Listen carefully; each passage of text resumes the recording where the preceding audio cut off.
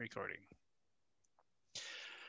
Hi, we have David Johnson, uh, a preputial amputee or a circumcision uh, victim like me. And uh, we're going to go through another interview uh, where we go through all the harms uh, that we believe, or that David in this case believes uh, is, has been inflicted on him, what, how he's been impacted by the fact that his prepuce has been um, removed from him as an as a child.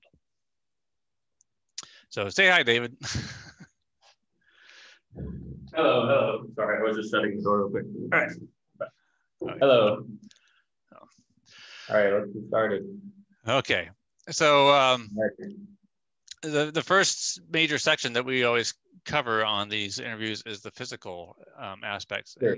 Um, I, I bring this up because it's regularly brought brought up when like protesting or whatever or or uh, complaining about it online. It's like, well, why is it bad? Um, okay, well, here's why it's bad. Like, listen to these, you know, all these men that have figured it out. Um, you know, for my instance, myself, I've figured out by you know doing a lot of studying, asking intact men, um, talking you know to men that got cut later on in life and all that, um, how the normal penis works. So uh, one of the first terms is uh, is acroposthion. And if you look at one of my videos uh, in YouTube, it goes way back with uh, John Geisheker from uh, Doctors Opposing Circumcision making a presentation.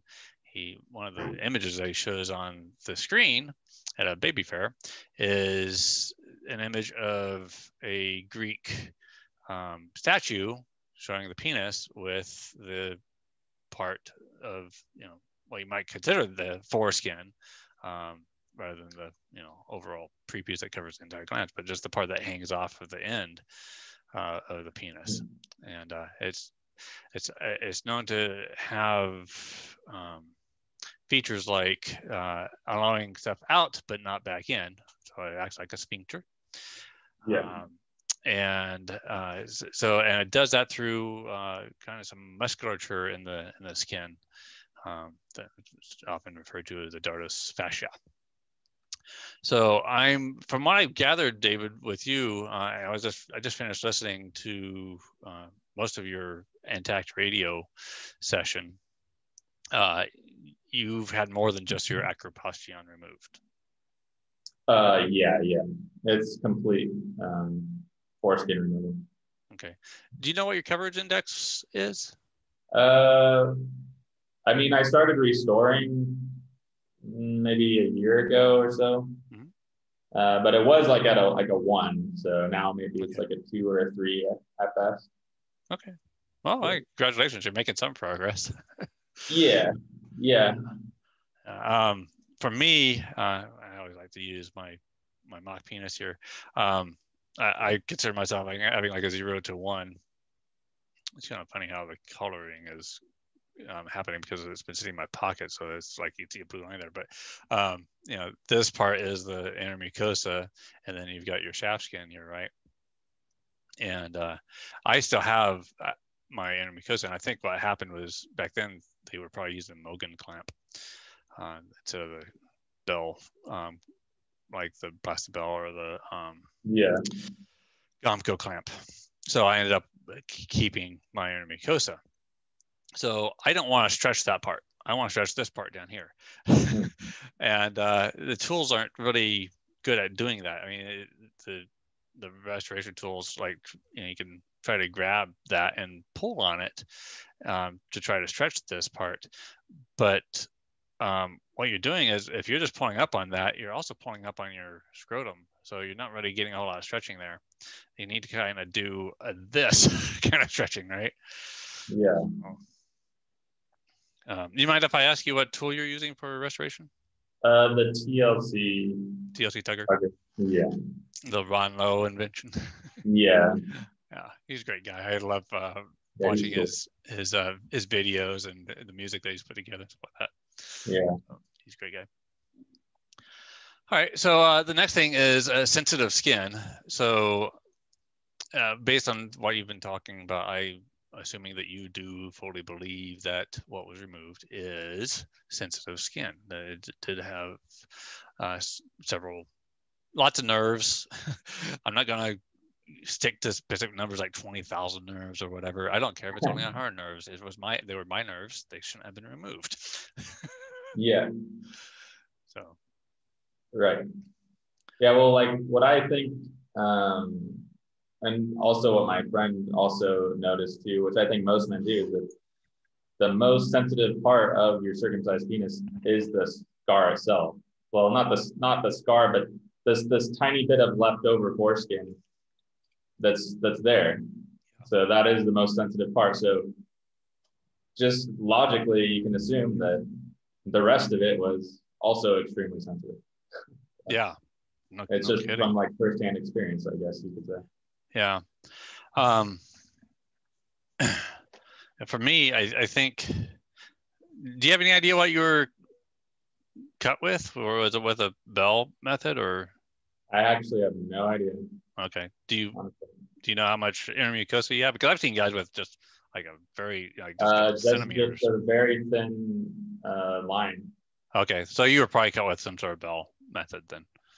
Yeah. when you think when you think about when, when they put a bell down over your glands and then they cut right at the base of the bell, then that leaves you know they're yeah. taking off all that inner mucosa yeah. and and uh, outer shaft skin, so you end up with more shaft skin.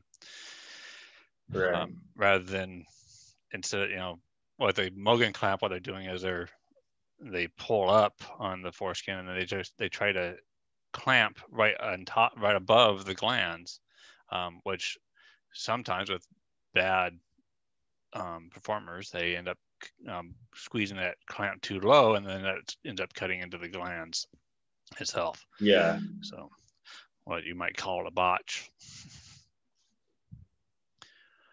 Uh, so for me, the uh, the frenular, because I do have my inner mucosa, I think my frenular area is what is my most sensitive area. So mm. in, in, that way, I consider myself lucky. But yeah. on, uh, on, the other side, I have such a, a very very tight cut.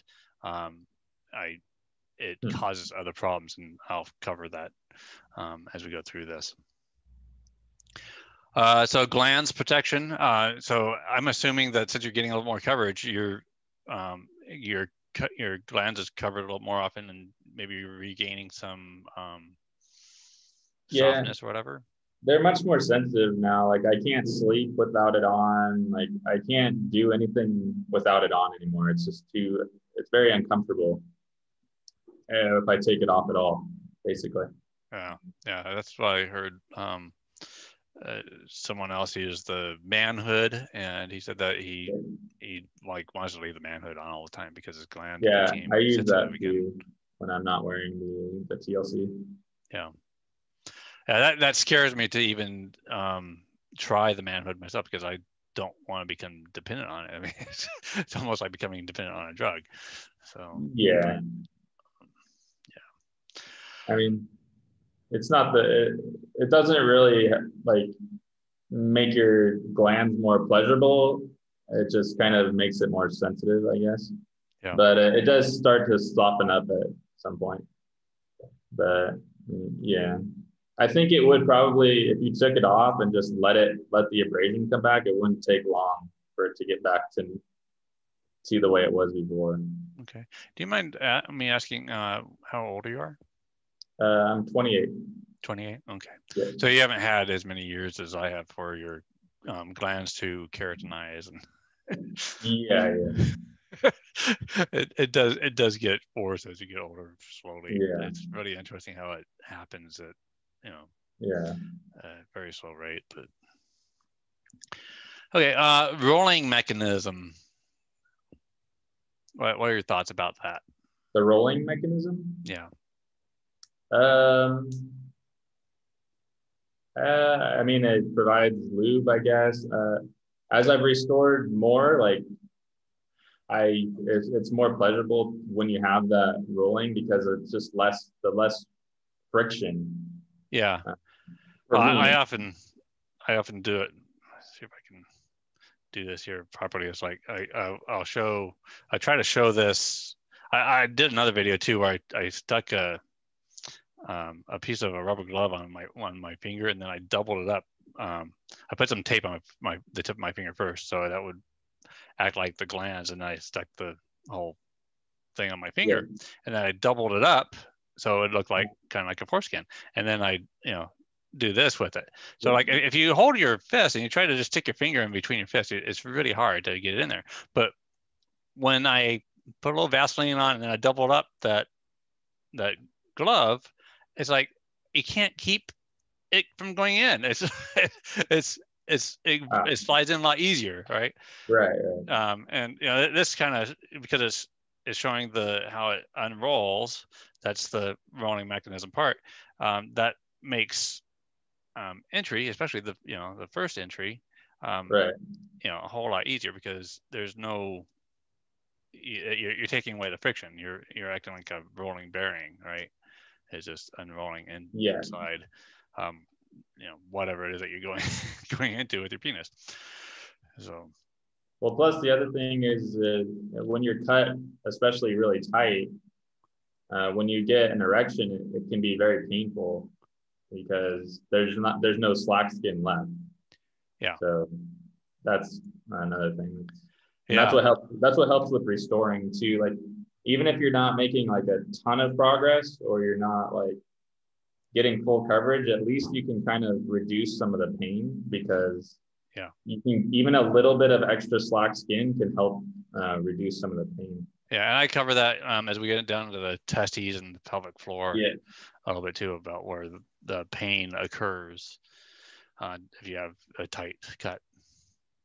Um, so the rolling mechanism is a little separate from the from the moisture lube part because the mm-hmm. um, the inner mucosa of the penis, you know, it's like the inner mucosa of lots of body parts. There's stuff in there that creates secretions that keeps things moist, right? right. So it's supposed to be moist, so like uh, maybe not as much as a say a vagina, but it does, you know, it, it does keep things moist and smooth and soft inside. So you got the rolling mechanism on top of the lubrication. So you're adding lubrication to the the act. Um, and certain intact men could you know attest to that too about how it's valuable to have both of those for sexual activity. So I'm assuming you have no moisture lube um, on your penis when you have an erection and you start having sexual activity. No, I've used coconut oil. Oh, yeah, that's a good one. Um, olive oil is one that I like. Yeah. Yeah. Um, of course, you could you know give money to companies like KY Jelly and stuff like that, but yeah, yeah, I don't like those companies at all. I don't like their products. Uh, well, they, they yeah, I, I, I kind of wonder if they have any involvement in um, those who try to keep uh, circumcision alive because it could cut into their money, you know, their their profits if uh, if there are fewer men that need it. Yeah. Um, okay, so then the frenulum, it sounds like your frenulum was ablated. Yeah. Um, and I think uh, when I was listening to you, the intact radio, you were saying that uh, you were kind of identifying well with Carter uh, Steinoff that you, uh, you you lack. You think that there should be a lot more sensation there than than you feel. Oh yeah, absolutely. Yeah. I, I kind of I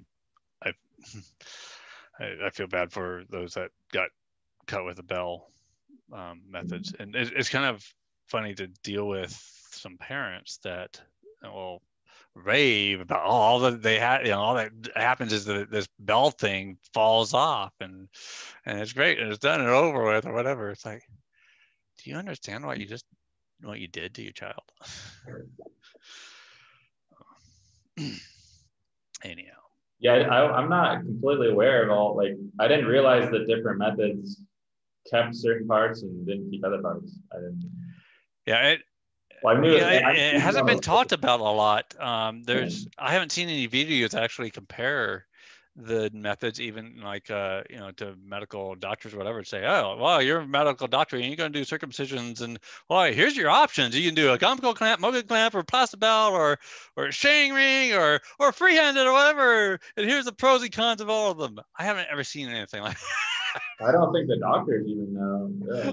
I, I don't think they do either. I, I I think they probably I think it's probably like the pharmaceutical um, companies. They probably have some um, representative go see them when uh, they're you know in college or whatever say here buy this Gomco clamp and do your circumcisions that way. Here's how it works. Yeah. Rather than being taught by a teacher or whatever. They probably just use whatever method that they learned in uh, college or whatever. Just yeah. stick with that. Uh, hang on a second. I,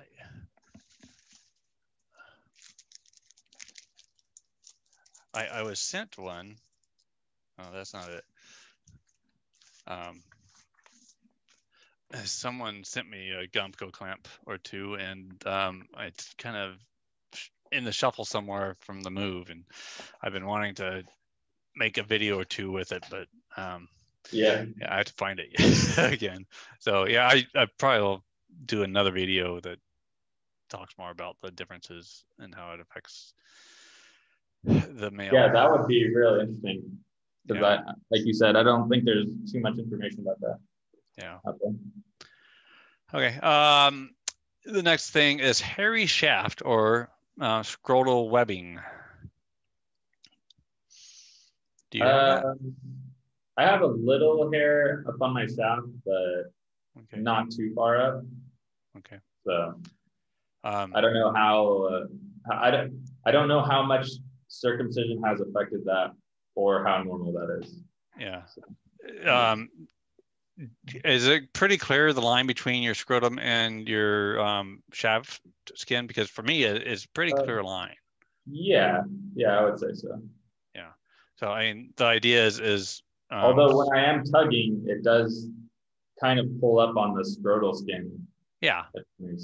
Yeah. So your scrotal skin is going up onto your onto your shaft. Yeah, um, yeah. And, and you if you i don't know if you look at porn at all but um i've watched enough to notice a clear difference between intact men and not and where the yeah. where the scrotum you, you kind of have to sit there and look at it in, in detail and all that and you know i'm at this point i'm not looking at porn to get turned on i'm looking at porn to try to understand you know yeah, how right. things work down there yeah and i, I think uh, very few men uh, or maybe even women um, take the time to look at it from a scientific or, perspective. or doctors. Yeah, because they're probably afraid of being called, uh, you know, I don't know, gay or pervert or whatever. Or perv or whatever. Yeah, exactly. That actually really bothers me, like that type of attitude. It's just, I don't understand it. Like, it's like a, um, it's like you're scared of basic information. And I just, I don't really get it. like, there's nothing to be scared of. It's just, you know. Yeah. There's this um, YouTuber called Caitlin V that yeah. uh, talks about sex a lot. Um, there's also um, another lady. Um, she runs a channel called Sexplanations. Um, but Caitlin V just put out one recently about how you know um, red flags with your partner and one of them was uh, if your partner can't talk about sex in a mature way then that's a red flag. Yeah yeah. So yeah. Yeah. Okay uh so testes is the next thing. Um for me my testes when i was younger um particularly in my teens and my 20s when i get an erection my testes would get pulled up um, by because my scrotum is getting pulled up, right? Um, it, my testes get drawn up inside of my body, and um, and things would get a little tight, and my testes yeah. would get squeezed just a little bit. it's almost like getting kicked in the nuts.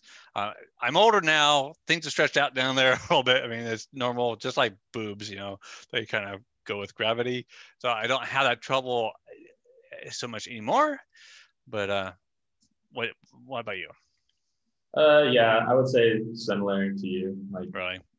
Yeah, I think that's kind of normal. But, uh, yeah, I, I've had, I've done a few interviews now, and it's varied. Some have and some don't. Yeah. So, again, it just it depends on how you get cut, you know, and you know it's it's also yeah you, you can they could they might angle the the cutting tool this way or this way or whatever, and that might have a different effect on whether right. it affects your pelvic floor or whether it affects your scrotum. Right. So. Yeah, it's crazy how how it affects so so far down. They, I think it's just a little snip, but it's, it's just every little thing will have permanent effects on. Yeah. That's what I'm saying. It, it's hard to know when you were cut as a child. It's it's really hard to know like what's what's what, you know. Okay, pelvic floor. Do you understand what I'm talking about with uh, pelvic floor? Yeah, the PC muscle. Yeah. Well, so for me, what happens? Oops, I guess we should keep it um, circumcised here. Um, so if you look at um, medical diagrams that shows the um, the corpus cavernosa, which is the part that fills up with blood, that corpus cavernosum goes all all the way inside your body, all yeah. the way back to your anus right? Right. And so it fills up with blood. And if the skin doesn't allow for your penis to go outside of your body properly, um, then the skin gets a little tight and your body, your penis goes up like this. Which yeah. it can be a little funny because you can, you know, you can, you know, I, I, I used to be able to, I think I probably still do it. I can, I can control how my corpus cavernosum is full filled up and, and relaxed, fill up and relax, kind of like a muscle. Um, and I could make my penis like slap my my my belly. yeah. But it's also very uncomfortable because it, it does this, and then your partner tries to do this or whatever, and, and that gets uncomfortable, um, particularly yeah. right where it, it comes out of the body because it's, it's doing a double angle thing. Yeah. So uh, for you, pelvic floor? Yeah, I don't, it doesn't pop up like that. It's, it seems just straight. Okay. Yeah, it doesn't. It doesn't pop up. Uh, it, it doesn't. It's not. My skin is not tight enough to where it, it goes up in that angle. Yeah. I think. But. Okay. Uh, meatal stenosis. Did you ever have an ex- um, experience with that? Um, what is that exactly?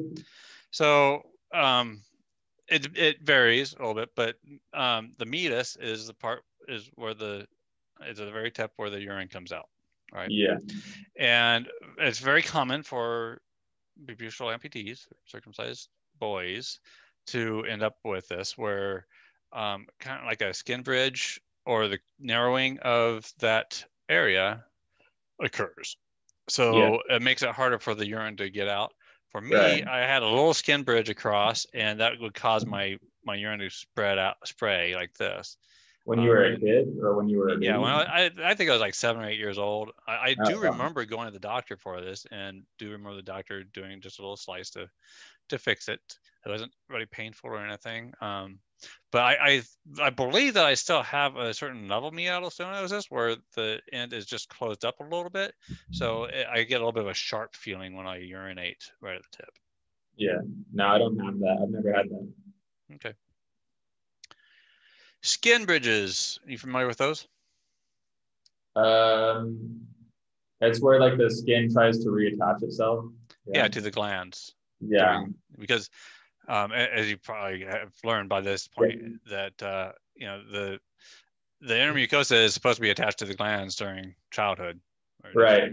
So your body tries to reattach, or yeah. sometimes it does, not all of them. Just, just like a scar, right? Yeah. Your body tries to re, you know, repair itself, and well, you don't want that doing a repair because it repairs in the wrong way because then it permanently yeah. reattaches to the glands and then you have this yeah. you know skin going from your inner mucosa all up to your uh, somewhere on your glands. Yeah. Uh, i've I, have i have had uh, like one guy talk about how he had to use a he has to use a q-tip to clean in between his mm. um his skin bridge. The skin bridge? Yeah. Um, so yeah i've never had that. I feel like that happens more when they leave a little more skin on. Yeah. Uh, there's like a little more skin to reattach itself to. I think if they cut it too tight, I don't think there's any skin left to even make a bridge.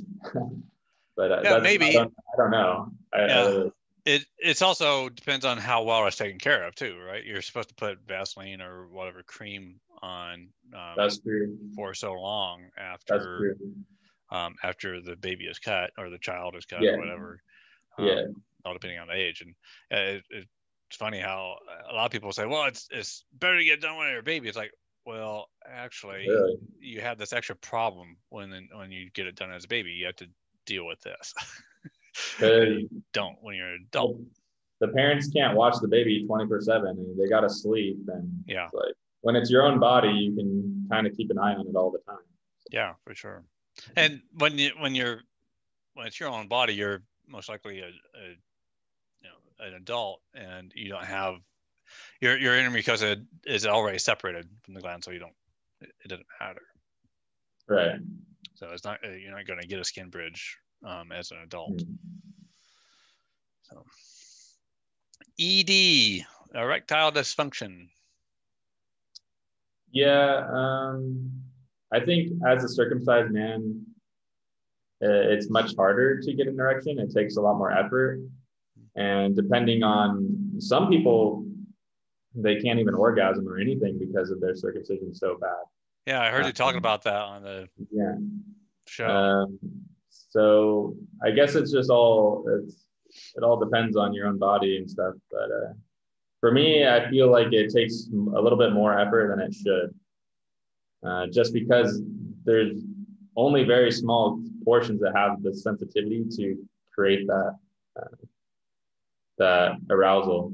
So, um, yeah, and then also as you get older, it gets more it gets harder and harder. So and that's what I talk about a lot too. Is um, a lot of the trauma and stuff of circumcision is not does not um, come up until you're more sexually active.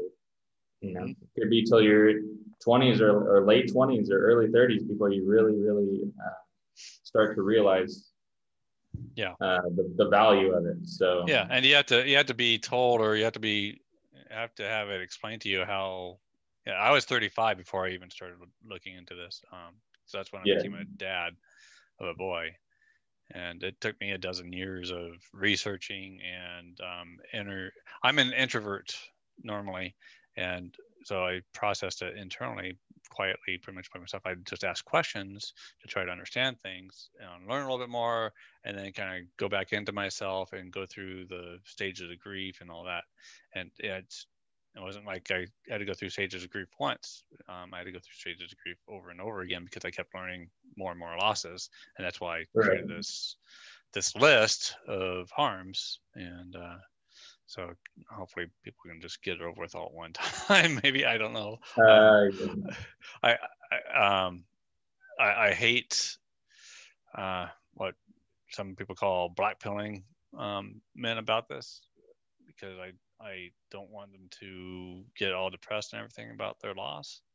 But at the same time, if men don't complain, then this continues to happen. Yeah, I think uh, my thoughts is that it's it's a really selfish act not to get educated. However traumatizing it is. Yeah. Um, maybe it's better for you, but it's like you're continuing the, the suffering. So yeah. that's the way I look at it. Sure. But at the same time, you have to provide uh, support for the people who are suffering from the trauma too. I think that's also important. So. Okay. Yeah.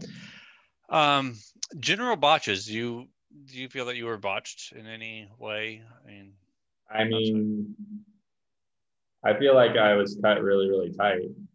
Um, it's kind of an interesting story with the doctor but I won't go into it. Um, okay. Well, we mm. actually do talk about um, doctor-patient relationships down the way here, so I'm sure it'll come up then. yeah. Okay. Yeah, that'll it'll. There's a pretty funny story actually. So. Okay. Uh, okay, so the next section is about uh, partners, and I understand you have a wife. Yeah. Okay, so you're heterosexual. Yes. All right. So, um, do you have you and your wife talked about how it affects her? Uh, yeah, we're very open. Uh, sexually and talk about everything. I trust her with everything. Okay. Um, um, yeah.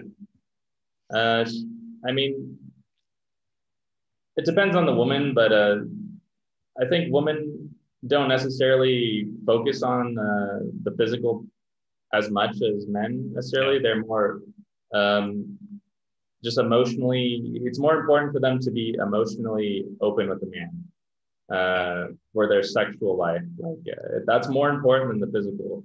But um, well, you know they say the brain is the biggest uh, sexual organ, right? Yeah.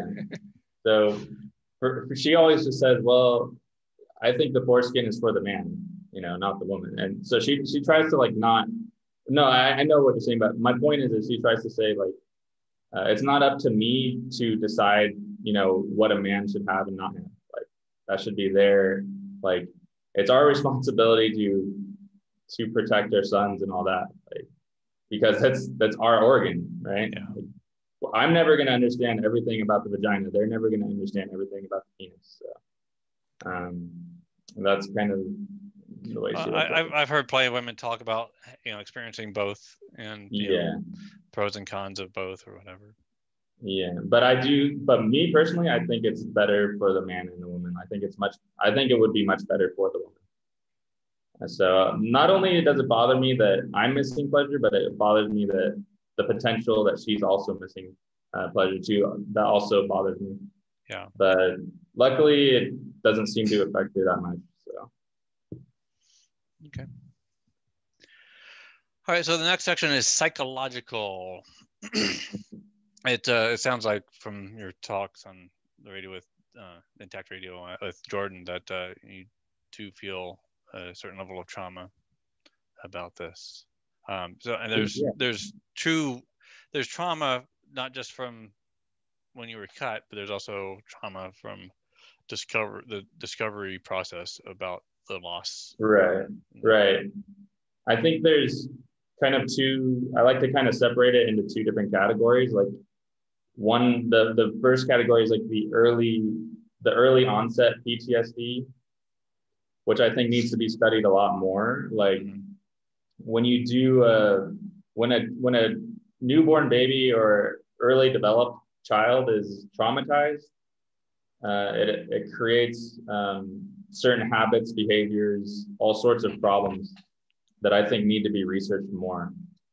And then and then there's the second part of it, the, like the conscious part of it, where you learn all the information and then you consciously are going through a lot of the trauma.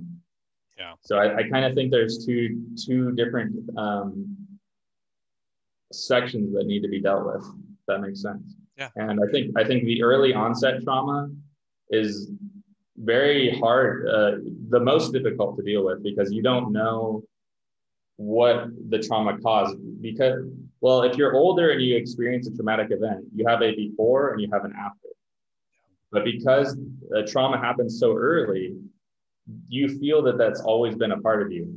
Uh, so you don't know, uh, well, is that just my personality? Is that just my brain? Is that just how I am? Or was that caused by this trauma? And that was a problem with my friend too. Like he felt like he had a very intense feeling that a, a lot of his problems were caused by that. But because you, you can't logic uh, logically know, you can't prove it, it, it's a very hard thing to deal with and cope with. So, yeah. and it's also hard for other people to understand when you're seeking help. So, yeah. Uh, Some men have reported, uh, including myself, um, nightmares from yeah. during childhood. Yeah. Um, did you have any of those that you think that are attributed? Uh, I have nightmares now, but um, oh. uh, no, I, my childhood was seemingly normal. Okay. Uh, all, but when I hit puberty, that's when all hell just broke loose for me. Like I had a, a ton of uh, drug problems, just confidence problems, social problems. I, I forget to ask, when did you start learning about the loss? Um, so I, uh, like I've, I had an uncircumcised friend growing up, a couple of them. So I knew like I knew uh, their penis was different than mine but I never really thought much of it. And growing up, I just thought circum. I didn't think my penis was I didn't know there was a scar there. Like I didn't know that was a scar. I just thought it was normal. That's how it looked. Yeah. Um, and then maybe like five or six years ago, I read the article where the doctors were doing MRIs on.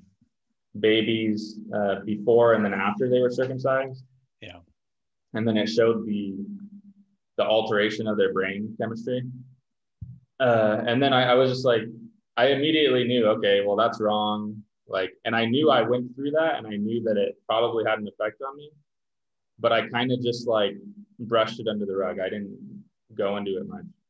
And then about three years ago, my friend started calling me every day, and he's like, "You got to watch. Um, you got to watch. You know these videos, Bloodstained Men You got to watch uh, Eric Clopper's video." Yeah.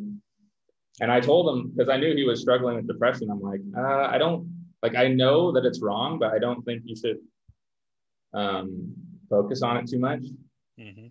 But uh, he just he kept he like was really adamant about it. So kind of just to like try to support him, I got into it, uh, got, got more educated. Yeah. And then as I got more educated, uh, that kind of sparked my own anger and trauma mm-hmm. and all that stuff. Yeah. That's kind of like how, how it all went down. And then from there, I just, I got obsessed. I had to learn everything as much as I could about it, you know?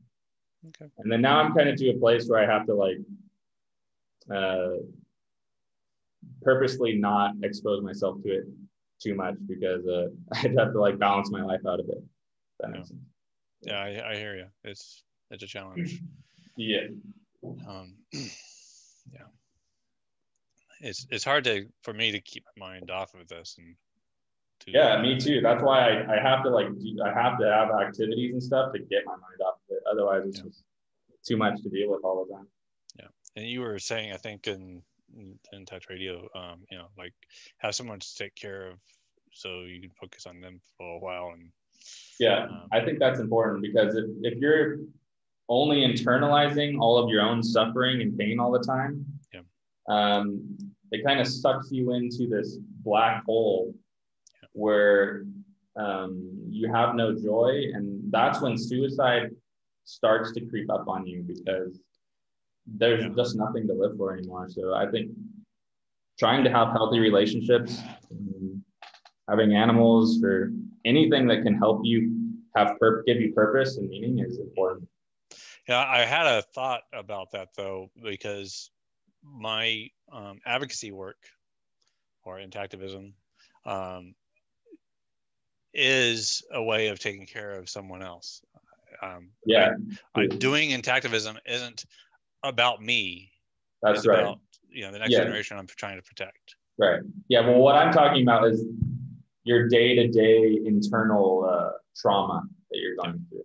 Whereas, in fact, oftentimes when you deal with that trauma and you become healthier and more capable mentally, you'll do better in activist work, right? Because you'll be more prepared and mentally stable yeah. to um, educate people properly. I I personally go through that uh, sometimes. In fact, I just had a, an episode um, earlier today. Actually, um, I was thinking about autonomy. Um, I, I, think that everyone needs a certain level of autonomy um, in their lives, right? They they need to be, be able to make their own decisions about what they get to eat or what they wear or um, you know where they might live or, or whatever. Need to be able to have some choices this is one choice that is taken away from you and it's forever. Yep. You know, and when I thought about that, um, and I just let that sink in for a while, I just an extreme level of sadness overwhelmed me for a little while and I had to snap out of it. it's like, yeah, yeah. Oh, I'm gonna really sink here. right. hard. So, um, so yeah. yeah, suicide is the next thing that we're we're going to cover here in under psychological and and you kind of addressed some of it. And you were talking about how your friend committed suicide after um, after having lots of discussions with him about um, being a preputial amputee. Yeah, yeah. So it's not necessarily so, the only factor, but that might make someone commit suicide. But it seems like it's certainly a, a strong factor. Yeah, absolutely. Uh, I think there's so much there's so much that you can talk about with that. Um, I think the damage that it causes to your relationships, your ability to connect, the physical the physical damage probably is the worst, the worst aspect of it. Um, so like for me, after going through this process, the the worst part of it is the the left the physical part that I'm missing. Although there was many many many years, and every single day I'm dealing with the psychological impact of it, which is also equally as devastating in, in many ways. Yeah.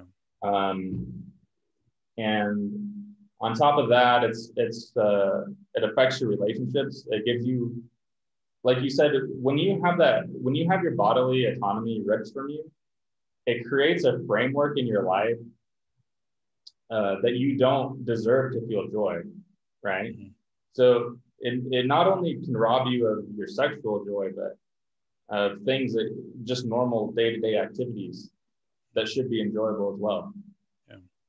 So I think all of those things on top of trying to reach out to people and being rejected consistently on a consistent basis um, kind of builds the potential for someone to commit suicide.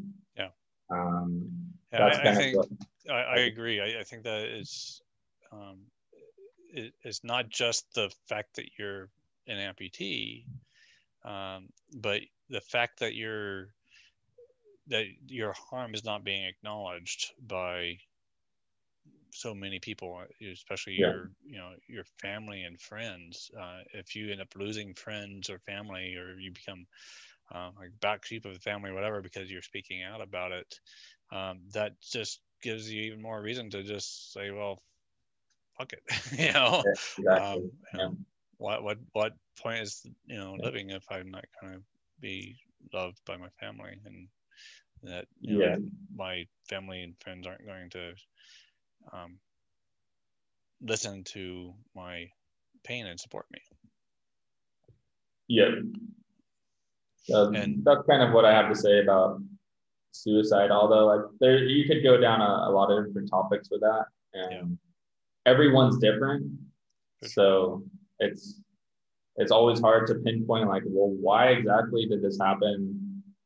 on that day? You know, why did he choose to do it now? Like, it, it just it's this kind of black hole that suck it keeps draining you to the point where um, you just you you can't cope anymore. You have no more coping mechanisms left.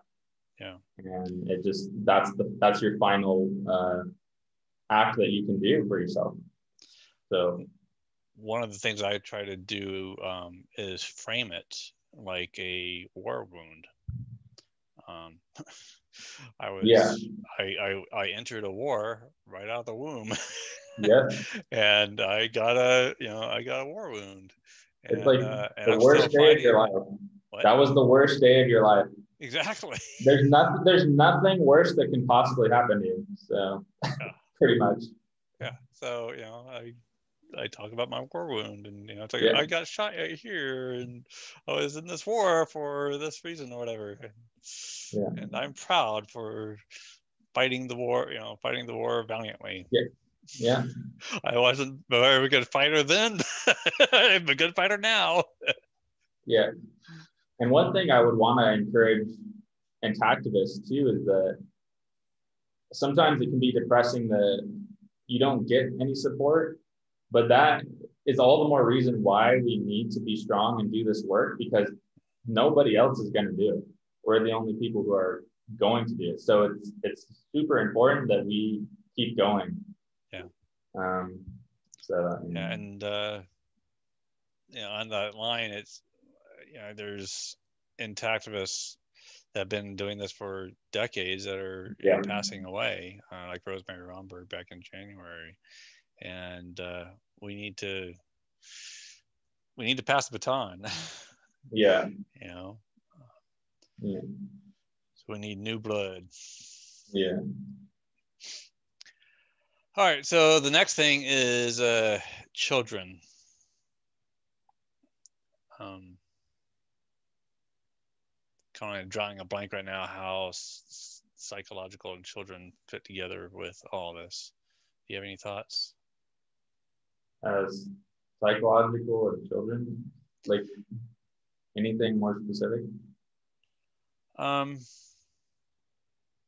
you know, maybe I need to write down some notes about the children aspect of this, but um, like how it affects a child. Or... Well, you were talking about having a friend that was, or friends that were intact when you were a child, and um, yeah.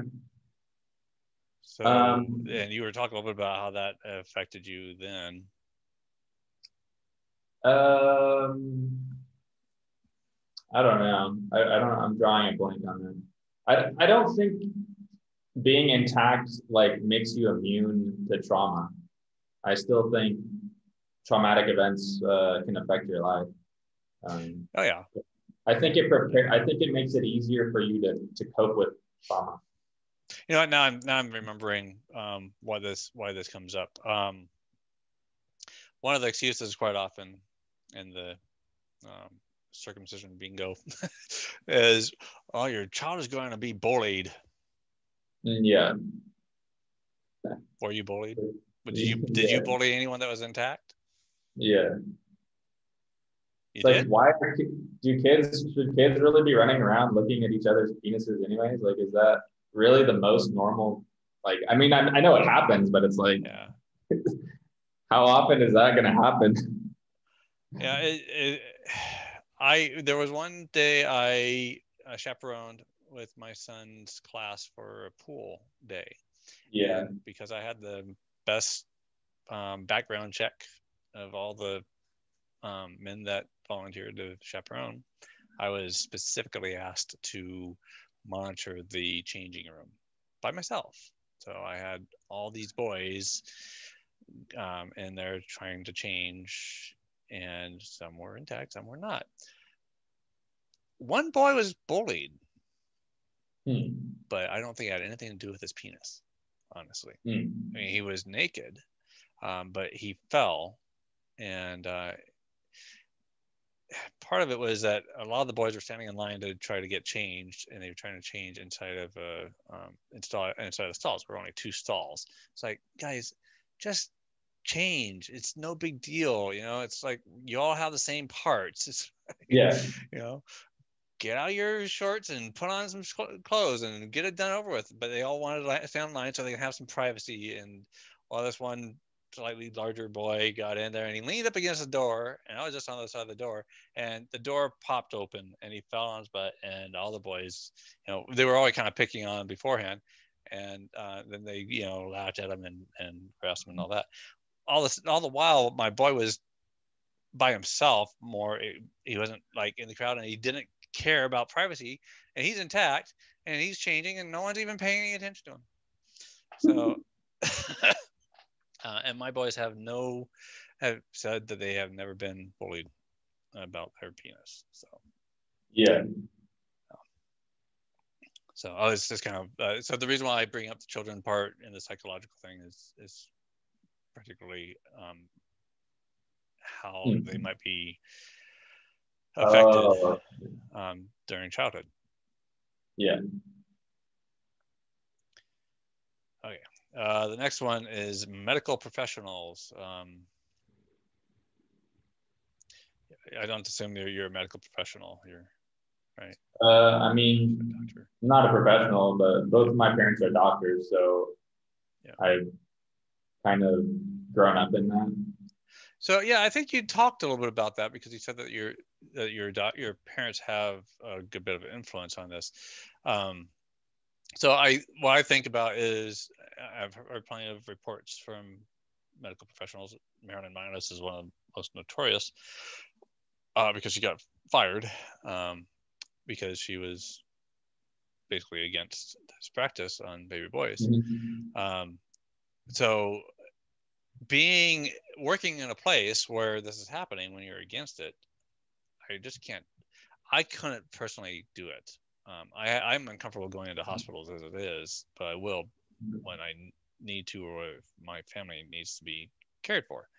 Uh, one time i dropped off my mother uh, yeah i dropped off my mother-in-law for an mri or whatever and i they didn't necessarily want me to be in there with her because of the pandemic and everything like that. It's like so I brought all my blood stained pants and went out to the corner and protested while she was. That's funny. That's more entertaining than just sitting around. Yeah, I got uh, I got plenty of um, medical professionals coming out of the building and or walking across the street or whatever and like uh, asking what this is all about and everything. So, uh, anyways, that's fine. So well, have, have your parents talked at all about how they feel about this? Uh, they're veterinarians, so. Oh, okay.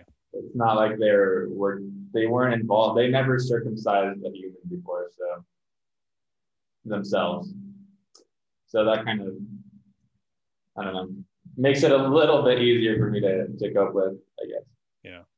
But I, I just think the medical professionals are just so uneducated on so many things. And yeah. you just look have, at the textbooks, it's, it's really sad. They have no incentive to become educated. Yeah. They're, they're incentivized to stay ignorant. So I think that's just a big, big problem. Yeah, when, I, when you try to bring up new information to them, they have bigger fish to fry. Like it's just there's no there's no reason for them to waste their time unless they actually care and actually want to do the right thing. But a lot of them just they don't think about it. Yeah, earlier last year, 2020, I, I went through a 2020 edition of a urology book and identified it's clearly slanted toward you know, circumcision, and they use the word circumcision a lot instead of posthectomy or preputial amputation or anything like that. Um, and so I, I wrote a, a, huge letter, a nice thick letter, um, copying and pasting bits out of their book, saying, "Well, here's your here's the problems with this and this and this and this," and I, then I'd reference um, studies and articles and stuff like that. So, um, and then I sent it. There were eight eight editors of the book, and I managed to find and, emailed and got responses from um, seven out of the eight um, that they received the letter. I never got any thank you or anything, but uh, just the, just a receipt that they did get it. So yeah, it's it's really scary um, to look at medical textbooks and see how much information is missing, uh, particularly about genitalia, and not just male genitalia, um, but female genitalia too. There's a gal by the name of Jessica Pin you can look her up. She's on um, Twitter. She's got a Medium, I think it's Medium um, blog and everything like that about it. And uh, she even had a um, a petition recently that's looks like it's been quite um, productive, um, trying to get the um, gynecologists to uh, to improve the education system around the clitoris. So yeah. I mean, in some ways, um, as as much as uh, the medical textbooks are bad for the male genitalia, it's even worse from what it looks like for female genitalia because they don't even have the nervous system outlined for the uh, for the clitoris. So that's uh, and she got harmed from a surgery at age 18, uh, oh, wow. and she blames the lack of medical education on it. So yeah, the doctors opposing circumcision has a really good video on the just the basic anatomy of it. It's called like yeah. the the prepuce. Yeah, it's the information is out there, but whether the yeah. you know educational um, institutions are providing it or not is the other right. issue. Well, another problem too is that they they've kind of stolen the word circumcision because yeah, in ancient times, circumcision was never the amputation of the entire foreskin. Yeah. No. It was just a small cut. Yeah. At the end, and and that's and that's what they called circumcision, and they they still call circumcision today. So people think they're they're following the Bible or whatever, but that's that's not even what they practice. They could draw so, one dot one drop of blood and call it circumcision. Um, the word right, circumcised just means to cut in a circle when you look at the roots, the Latin roots yeah. of it. So it, it's really, as far as I'm concerned, it's extremely unprofessional for medical professionals to use uh, that term at all. It's, yeah, exactly. That's what I'm trying to say. It's, it doesn't make any sense. Yeah. I, I call that out on Twitter all the time. You know, when people say talk about circumcision or circumcising or whatever, it's like, huh? Caught in a circle? Your child? What? what yeah. does that mean? Yeah. Oh, what, what, what, I've got this gift that I made that uh, I usually had it behind me on the wall, but it's just the genital autonomy um, symbol that uh, mm-hmm. is um, in a circle, and I I cut the circle out, right, and it just says yeah. you know, circumcised paper. circumcised paper. Yeah, exactly. Right. And when people talk about um, banning circumcision, it's like, I like cutting in circles. so hopefully uh, that gets people thinking. It's like, huh? Okay, yeah, okay. I guess the word sucks. It's a bad, bad word. Yeah. Yeah. Fix our fix our verbiage. Ver- verbiage. That's why you say like pre prepuce amputation. How do you say it? Prepuce. Yeah, because it's your prepuce that's being removed. Yeah. That's a better, more accurate term. Yeah. Yeah. yeah. Um, you know, the people that are pro pro cutters, they they're like, oh, you're you're just using that term to be, you know,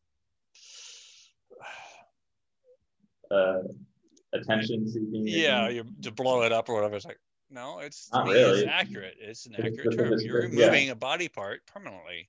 That is an amputation. Yeah. That's oh, an amputation is remove a finger or arm or you know a limb or something like that. Who says? I, yeah. I I can I can accept posthectomy because it's kind of like an appendectomy or you know a lot of other things that would be an ectomy or removing a body part. Yeah. So uh, if you want to use posthectomy, okay, fine. I still like preputial amputation better. Okay, so uh, the next thing under psychological is parent. Um, so, you're a parent? No. No. Okay, not yet. um, how do you think your own parents um, have been psychologically impacted by this, or have you even talked to them much about your? Uh, I mean, I've had some conversations with my mom about it, but um, not much with my dad. Um, so, what's the question? How do I think they've been how affected? By- be, how do you think they're psychologically affected by uh, this practice? Well, I think it. I mean, there's no way around it when you when you do something like that to a child it's going to have consequences whether you accept that or you're aware of the consequences i think um, it causes certain behavioral changes this like there's the studies with the brain chemistry changes forever yeah. um, there's a lot of theory and that's why i think it needs to be researched more so I could I could like speculate on stuff with my parents and stuff, but I don't really want to get into that. Yeah.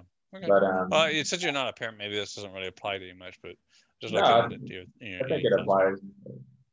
It's uh, yeah. Okay. I don't want to get too specific about anything. So. Yeah. Yeah. Um, and then the last one under psychological is intact men. And since you're not intact, I don't know how that applies to you. Um, I have had interviews with intact men and they yeah how they are psychologically impacted by this, even though they're not cut because they live in you know a society or whatever, or they mm-hmm. are around you know fellow men that are, and it does psychologically affect them.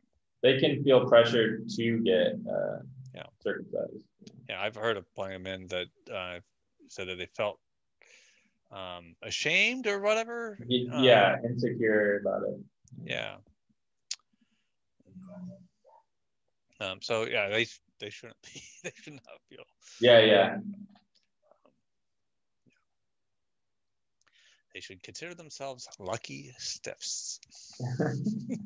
exactly. Exactly. Okay, so the next big section is relationships. Um, yeah. And the first part is child-parent trust. Do you feel that you've uh, that, that your trust of your own parents have been has been affected by this. Yeah, I think that's that's a big that's a definitely a big problem. I think uh, almost unavoidable, almost unavoidable. I think when you become consciously aware of all the information and stuff that uh, that that's actually one of the biggest traumas and biggest horrors is not only did this horrible thing happen to me, but the people that I trusted most allowed that to happen to you. Yeah. And I think that that just that itself is very damaging to a lot of families and stuff. Um, it's affected my relationship a lot. Um, so I, I don't know. I think it's important to come to a place where you're not relying on your parents uh, emotionally anymore because when you do have that conversation with them, uh, if they don't respond in a positive way, it can really affect you. So that's why I think it's important to do st- things like this, where you're talking with somebody who is going to understand, or some groups of people who will understand. Um, and then maybe you can approach your parents in a more uh, calm way because you're not relying on them to just to like coddle you. Yeah. I guess you could say because the truth is is if your parents let that happen to you, it's kind of unlikely that they're going to have all that much sympathy for you. Unless they're a regret parent or something somebody's somebody who's really educated on the issue. Mm-hmm. so they uh, what i realized with my parents is they actually need to be educated. Um, they actually need the the basic anatomy the basic psychological effects. And if you come at them with a with a very emotional um, uh, message, they're less likely to actually research mm-hmm. and get educated. They, they might just get defensive or whatever. They just get defensive, and what they really need is to just watch some videos on it with an open mind mm-hmm. and become educated. Um, but in terms of just the the trust and bond, yeah, I think that is 100% affected, and uh, it's a hard thing to, to, to deal with. Yeah. Um, well, we get into the mother-child bond down here. Um, yeah. Um, so uh, let me just tell you my story. Maybe you'll have some more thoughts, but um, I didn't really bring it up with my parents because I didn't really blame my parents. I mean, back in the '70s, there was little to nothing as far as information about, you know, how things work. And my my own father was cut, and I think my grandfather was cut. Um, so it was it was just a it was a normal thing. Um, like 90 some percent were being cut. I was born in a um, naval hospital, uh, so it was, I think it was routine. I don't even know if my parents even consented to it. Um, I haven't paid the money to dig up records or anything like that, but um, my nephew was about to be born, and I wanted to talk to my brother about the topic, and I thought that'd be best to bring it up with him um, while having my parents in the room. So all four of us sat down around a table, and I explained to them how how um, well I, I first started out with my aim. What my aim was is to help my brother understand um, the topic better because it's something that I've been taught, uh, studying, and that you know my two sons were intact, and this was a couple years ago, so they were in their preteens, early teens at this point, and um, and I I tried to go into it as a very much non-blaming way because I, I wasn't again I wasn't really blaming my parents. I I more blame the medical industry and I, I blame it all the way back to you know whoever it was that came up with the idea in the first freaking place to cut off parts of genitalia. yeah. but yeah. uh, you know, and that got the ball rolling. Um, and more so the medical industry in the US that really you know, got wound up even more when they started acting like McDonald's. Hey, you want some fries with that? oh, you want a circumcision with that? You know, um, you know, your baby's just born. Hey, you want to get them circumcised? Yeah, sure, why not? you know, um, the, that's that's the way it, it happens in this country because of yeah capitalism and all that. But uh, yeah, I I wanted to explain to particularly to my brother. and I knew my mother and dad would hear about all this too, um, and maybe they can have a little sympathy or whatever, and maybe they'd back me up and and convince my brother to keep his son intact. But um, yeah, I just I just went through a lot like what we're doing here, going through all the physical harms, particularly the um, stenosis, which I was actually kind of surprised. My parents didn't remember me um, having that problem. Um, particularly because uh, partly I think because my grandmother was one that took me to the hospital to address mm-hmm. it. I was staying with her for summer or whatever, and um, and it was just a matter of the, I guess there was a consent problem because my parents weren't there. It was my grandmother instead, but back then it was before HIPAA and all that. So I don't know, but somehow my parents didn't have any memory of the meiosis piece, and I explained to them how you know tight erections and all that too. So uh, my dad get, did get a little defensive, just a little bit, but I was like, no, I'm not blaming you. You don't need to be defensive about this. Um, yeah, yeah. I just, want you to hear, you know, the impacts, and hopefully, yeah. maybe this will mean that you'll go forward, um, telling other people, don't do this to your child. It's not a good idea. It was, you know, yeah, it was a bad idea. Yeah, I think that's the that's about the healthiest way to go about it. If you can handle that sort of conversation, yeah. uh, focus on just educating and not blaming. Yeah, because blaming will always cause defense. Um, usually. And you know, Did honestly, your nephew remain intact? What's that? Did your nephew? I don't know. Intact? I don't know. You don't know? I don't know. Oh wow! You don't talk to your brother much? Mm. No, mm. less and less these days. Mm. So uh, that that kind of goes back to the. Well, we'll kind of get down to the friends and family part of it, but we were talking earlier about um. yeah, what were we talking about? Uh, um, we were talking about, I think, psychological uh, suicide. We were talking about suicide and how family members and friends kind of like depart or block you or whatever about because you're talking about this topic because it's taboo, whatever. So, yeah. So we'll get down to the friends and family part, and we'll talk more about that. Um. So yeah, I, I don't know. Honestly, though, I I don't think I trust that my parents would have done any research, though, even if I was born today. Yeah. Unless yeah. You know, I, I think uh, Van Lewis and Ben Lewis were maybe protesting in 1969 or something like that before I was born, but of course my parents probably didn't see that. So, yeah. Yeah. Today with Brother K, Bloodstained Men, Cockfight, Intaction, and all these other organizations protesting and trying to spread information, maybe I would have gotten to them today, but uh, I doubt it because yeah, yeah, I, I don't know. I mean, hopefully parents, young parents today are, you know, spending enough time on social media and stuff like that, or getting views of of this. So, um, so today I think eh, the child parent trust relationship thing will be a bigger issue than ever because today there's just yeah. no excuse not to right. this topic. Yeah. Saying yes to a doctor, but a lot of people still appeal to the th- authority of doctors. So if um, the doctor is pushing it, um, you know, parents likely yeah. to go to it. I, I, think Intact America recently did a study about that. So I found 94% of hospitals are pushing it and pushing it hard, you know, asking half a dozen times or, or so. Yeah.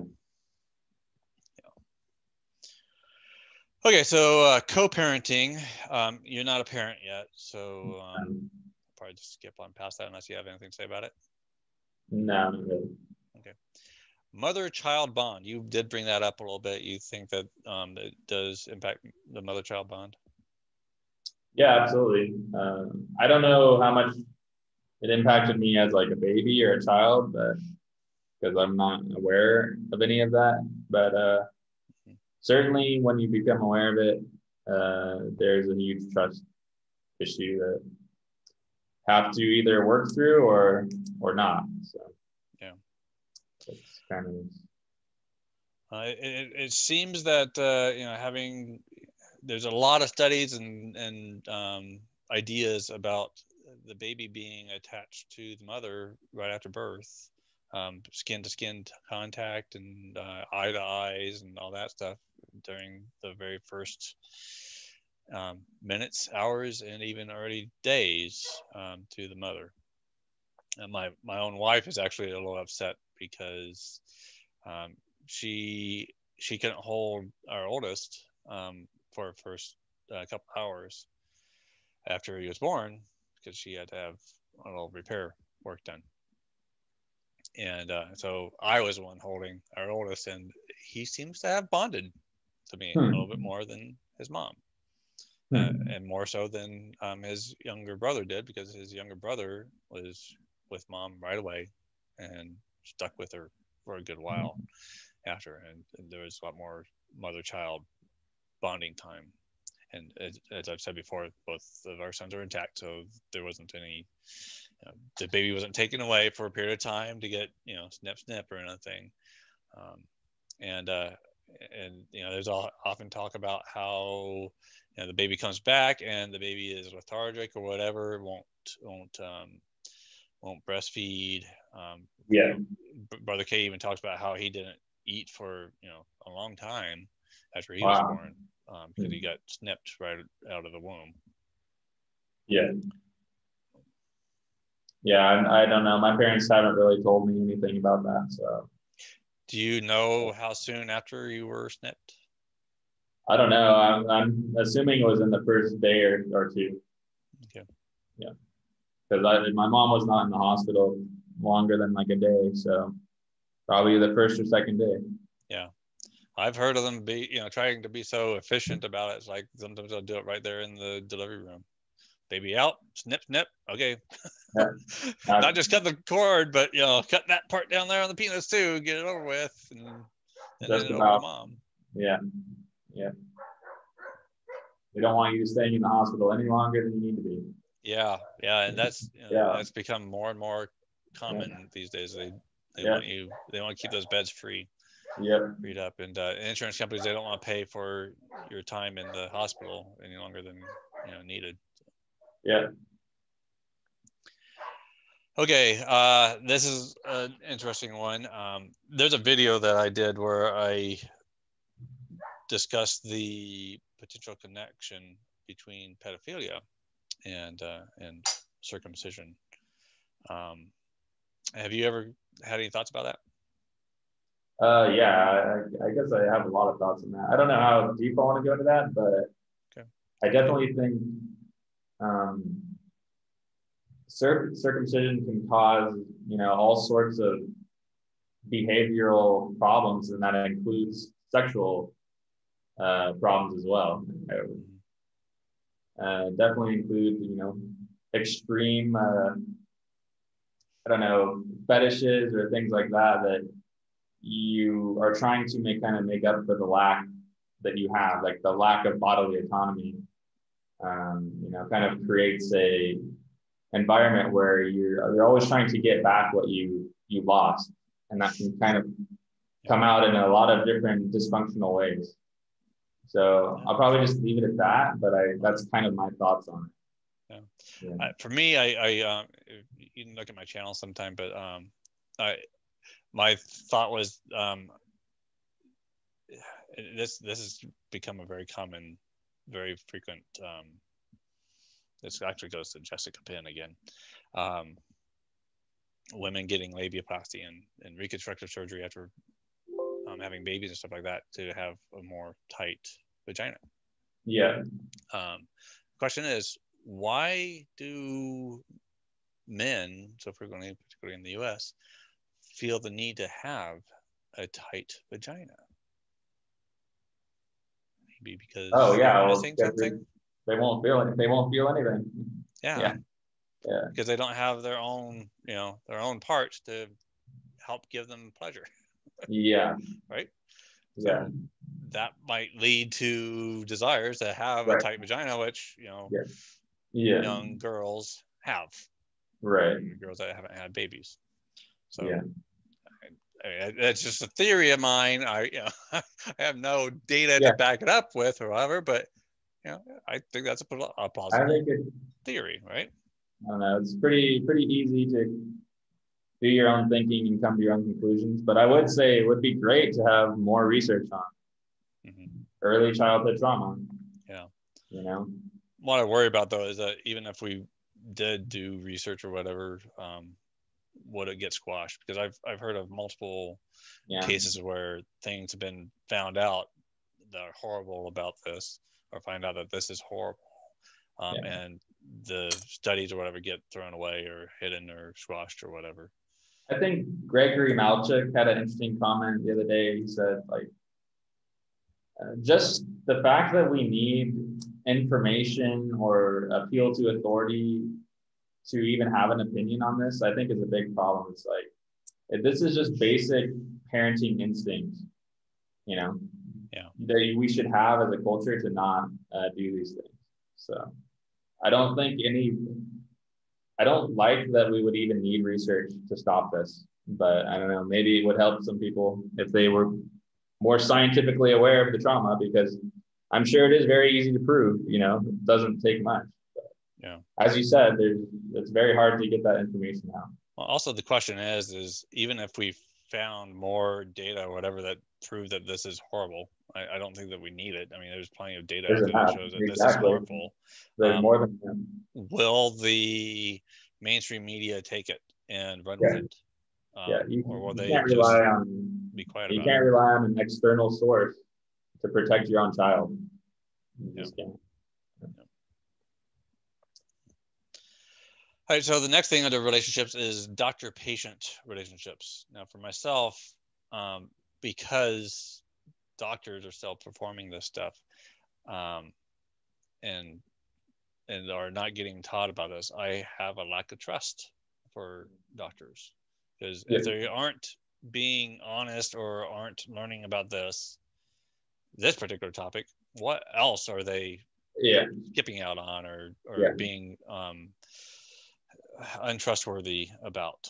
Absolutely. I I've because my parents were doctors, also my mom had cancer at a young age. Um, I've always had a lot of health problems, been been to tons of doctors for, you know, uh, therapists and physical problems. And like you said, they're just they're not educated on a lot of topics not just circumcision, but all sorts of health topics they're not educated on. And uh, they have no incentive to become educated because they uh, they're basically pharmaceutical salesmen. when when they sell those drugs, um, they make money. So and they create side effects which require you to come back more. Mm-hmm. It's a it's a huge cycle. So yeah, I'm a big like a believer in taking care of your health as much as possible uh, on your own and becoming educated on you know diet and exercise and any sort of natural natural healing. And i do think there are good doctors out there but the majority of them uh, they don't take insurance. You have to pay out of pocket.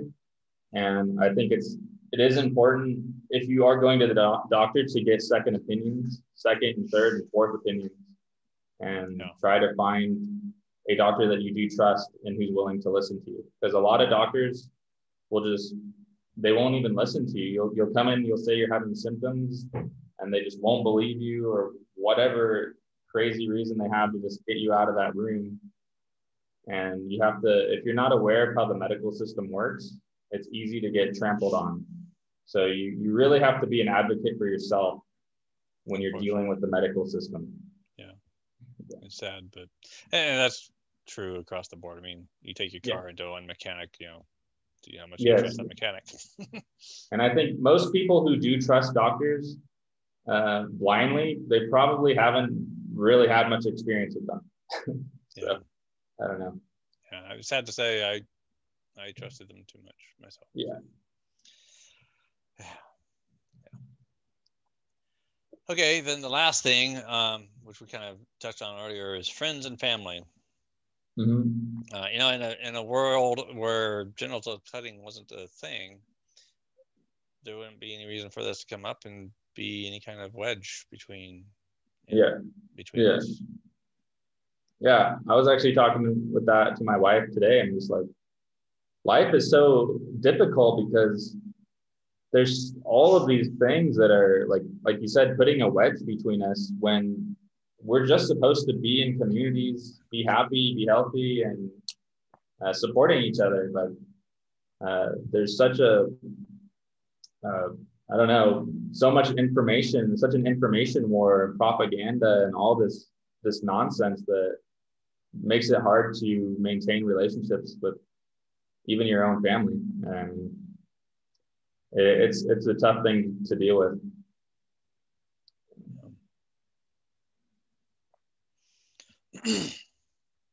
So anything you have anything else to say? I mean your per, do you have any personal uh, um, experiences you want to share about your relationships with friends and family about this topic?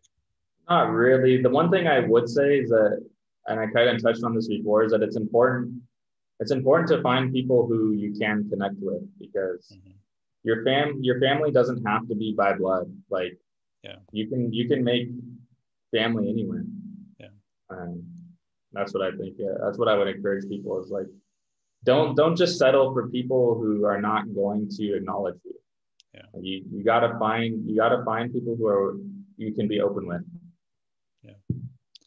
Uh, for me, it's still I, I'm.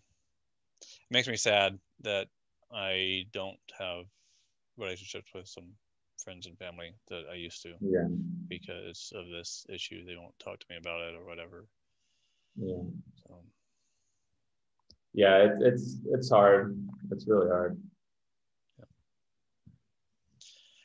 Okay, then on to the next thing. Um, it's listed as FGM, female genital mutilation, or female mm-hmm. genital cutting, or female circumcision, however you want to frame it, put it, or mm-hmm. whatever. Um, the reason why I have it on here is because I believe, and I think a lot of other people believe, that the continuation of male circumcision um, contributes um, perpetrates the continuation of FGM. And you can talk about FGM both from a non um, consensual side as well as a consensual side, because there's a um, there's actually a certain amount of FGM that occurs in the U.S. that is consented to. Supposedly, at least in a certain number of states, it used to be a federal law that got struck down by the Constitution. Um, used to be against the law at a federal level um, and when it's non or non-consensual. Mm-hmm. What are your thoughts on it? So, my thoughts on FGM. Um, I don't know. Like, you you want to rephrase the question at all, or so? It's more not just about thoughts on FGM, but more on how male circumcision is connected to or perpetrates mm. the continuation of FGM? Um, I think it's a slippery slope when you allow, um, you know, when you allow that into a society, it's always going to be a slippery slope as to what's next.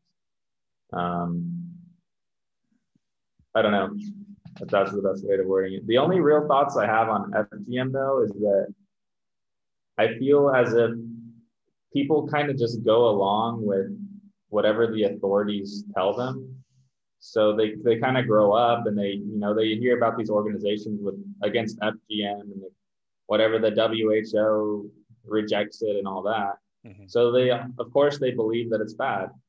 But if they, but if they say, oh, circumcision's a okay, uh, they don't question that either. So what I've kind of come to realize is that just because people are quote unquote against FGM, they're not really educated at all. They kind of just they were just told that, so that's what they believe. Yeah, if so that's that's the same that's the same case whether you're talking about male circumcision or yeah female circumcision or even yeah. intersex normalization surgeries. So if society supported FGM, all of those people that support circumcision would probably support that as well.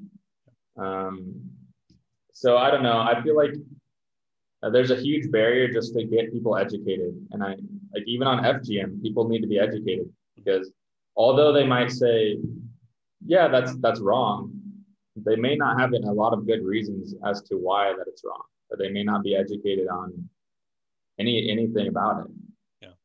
So I don't know. That's uh, in terms of like allowing, continuing to allow child abuse living in a culture where that's accepted, I think uh, creates just all sorts of problems. Also, I think it creates, you know, increased suicide, increased drug addiction, you know, all these relational problems that we're talking about. It's just kind of it's a big black hole in society. It's a big, big like mark on society, and uh, it's it's almost impossible to like calculate all the damage that it that it causes. So we, we've talked about, you know, could cause pedophilia, could cause mm-hmm. increased rape, you know, all, all sorts of horrible things. So I don't know, that's kind of where I would leave it. Okay. Uh, so that kind of leads on to the, the last thing. Um, you were talking about damages to society.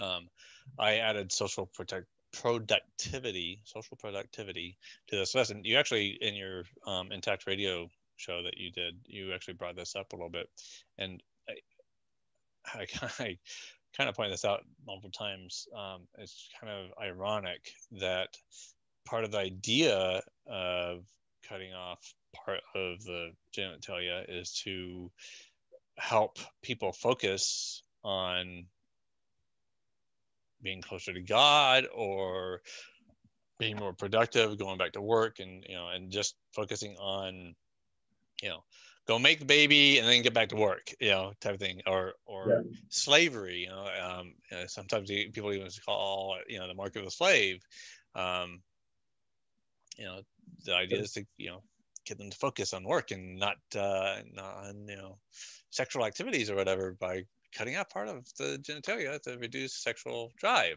Yeah. Yet there's guys like you and i that have becomes less socially productive so less yeah. not working as well or you know or we, we get depressed or whatever right. um, because of this so we're not working as much. Yeah. Yeah for me for me personally i feel like i would be much more productive if i was whole and normal and i would be more motivated to have a good life and work hard yeah. uh, but i don't know if that's the normal or the uh, I don't know if I'm in the minority concerning that. Uh, like my dad, my grandpa, I mean, they just they just worked nonstop and they never thought about it for one second. So, um, but if you, I think it, the book Marked in Your Flesh has a lot of good historical information on the people who promoted circumcision or like the real circumcision, the full circumcision, you could say, the modern day circumcision. Uh, they had all sorts of thoughts on what that would cause uh, socially and behaviorally in men. And it's really shocking when you read some of those early historical writings uh, about how they viewed the, the topic. So I, I, would suggest that if you really want to learn more about that, you you uh, read Marked in Your Flesh and read some of the excerpts from the uh, early uh, circumcision promoters. And when I say early, I mean like ancient, thousands of years ago, what they were, what their thoughts were on it. I just happen to have the book. Yeah. Yeah. there it is. Yep. So for those of you that want to read, this is a good book. Marked in Your Flesh by Leonard B. Glick. There's a lot of information in that book. Yeah, and he uh, he happened to show up on the uh, American Circumcision documentary too. Yeah. Yeah, I got a whole library of books now on the topic. Nice. I've got a lot of reading to do. Yeah. So, but imagine, you know, if uh, if this genital cutting thing wasn't happening in the world, what we would be doing with our time instead. You know? Yeah. Doctors would be spending more time healing people. Yeah. Guys like yeah. you and I would be spending more time, I don't know, making cars or fixing up computers yeah. or writing great computer software. You know, who knows? Yeah, yeah. You know? Yeah, we got to spend all our time with this. Yeah. Hey, but it is what it is. Like this is where we're at, and this is this is what needs to be done. So, yeah. Like I, I, I even had my mom tell me once, she's like, you shouldn't focus on it so much, but it's just like maybe this is exactly what I need to be focusing on. Because if we're not if we're not past this as a society yet, maybe it takes a whole lifetime of, you know, toiling over this issue to move past it, unfortunately. Yeah. it's not the way I would want it, but it, it is what it is. Yeah, I think that if uh, if genital cutting in the world stopped yesterday, then yeah, it'd be great. I'd definitely do something different. You do something else, yeah.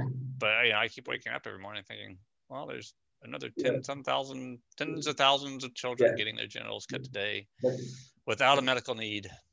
They're getting harmed. Um, I've got to do something about it. I can't. Yes. I can't not. Intactivists have nothing to gain from doing this work. There's no personal gain from it, other yeah. than other than wanting to stop it happening to someone else. Like, there's not much financial gain. There's not much. No. You know, you just get socially ostracized, and personally, it's very hard. It's a very hard topic to spend all your energy. But uh, yeah. So it is what it is. Yeah, I work less than I used to. I um, I make less, you know, per hour than I used to. Um, I've dumped five digits of my own money into um, activities and stuff to try to educate people. I even I I have a video that I um, I run as an advertisement on YouTube for uh, attorneys for the rights of the child. Wow. Because I, I, there was, you know, I, I, want, I wanted to keep it short, and I wanted to just spike people's thoughts about the topic. And all it yeah. is is, you know, hey, if you think that you were botched, hey, contact Arclaw or something. Like it was just, you know, something really simple. And I was standing in the bloodstained um, outfit and all that. So, you know, just an eye catcher and an ear catcher and, you know, something to get people thinking about the topic. Um, and you, sometimes that's all it's needed. You need to plant seeds to get people to go, you know, down that rabbit hole. Have you seen the circumcision as a fraud YouTube video? Oh yeah. Yeah, that that's a good that's a good video. Yeah. yeah. It's really um, short. I was like, man, there's like hundreds of billions of dollars in uh, like I don't know, I don't know the word malpractice lawsuit or whatever, however you want to call it. Yeah. Mm, yeah, it's crazy yeah, I mean, who knows? Uh, hopefully, maybe this will be the next, uh, you know, huge lawsuit like what happened with uh, Jordan keeps bringing it up the um, the cigarette companies, you know. Yeah. But it's you know, it's a little different. You can't just um, sue a handful of cigarette companies. You have to. I mean, who are you going to sue? I don't know. I mean, tens of thousands of doctors yeah. A whole bunch of hospitals across the world or yeah. country whatever. I don't know how there's no lawsuit will be written up. Yeah. I don't know. Um, i don't know if you've how much you've um, checked in uh, to me but um, i've got a blog uh, about it but there's three things that i did um, about this issue for my for my own case. First i started off with writing a um, a criminal complaint and filed it with the sheriff's department of the county where I was born, which ended up getting just passed on to the um, the Navy. Because um, that's I guess they don't have any authority on the Navy grounds where the Naval Hospital is.